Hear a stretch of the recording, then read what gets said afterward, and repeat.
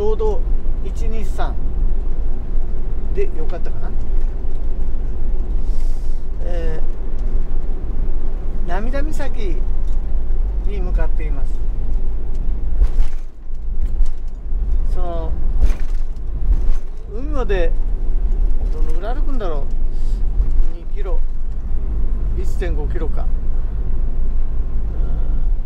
すると先端に出るんですけどああ海のあ海は崖なんですけどねそのあの先っぽへ出る。そして、えーと、右側を見るとあの岩が見えるんですよ。そこに女の人の横顔が見える。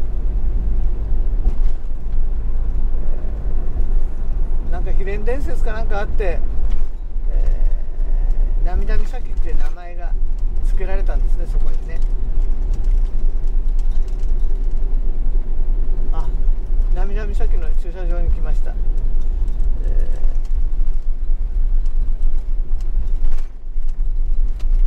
ー、あ結構人が来てる。バイクも。立岩っていうのがあって立岩は、えー、左側遠く。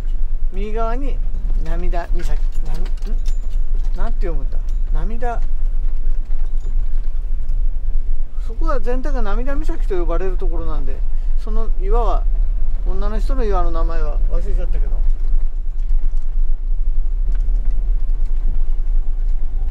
まあそこは涙岬ち